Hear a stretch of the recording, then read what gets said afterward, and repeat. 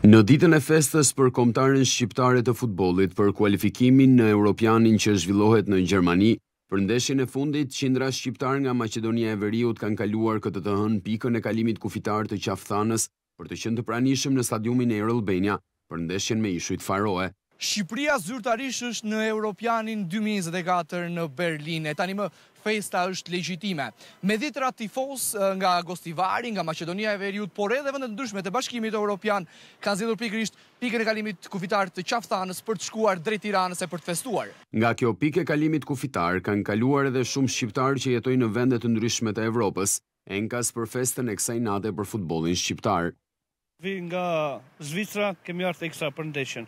Ne të sigurt e kemi, kemi ardhë vetëm për festën që kemi madhështore sot. Jam anëtar i tifozëve kuqezi edhe jemi për ta mbështetur Kombëtaren sonte. Natë festive, natë e gëzuar dhe Jam shumë i kënaqur që edhe u kualifikua, domethënë kohën e fundit e shoh që po shkruajmë histori futbollit tonë shqiptar. Sigurisht për ndeshjen, neve e duam shumë Shqipërinë, nuk lëmë ndeshje pa parë. Kur lun Shqipëria, shtëpia jonë mbushet plot me flamujt të Shqipërisë dhe është festë në në shtëpinë tonë. Jam edhe i Shqipërisë, edhe i Kosovës edhe i Malit Zi. I tanë shqiptarisë. E, e, ishallah, ishallah.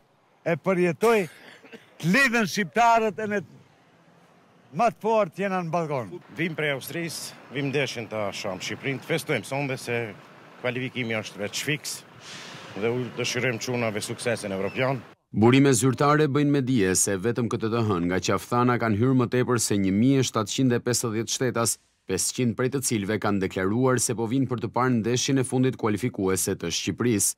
Policia në këtë pikë kufitare ka ushtruar kontrolle të imta për të gjithë mjetet e tifozëve shqiptarë të cilët kanë hyrë në vendin tonë.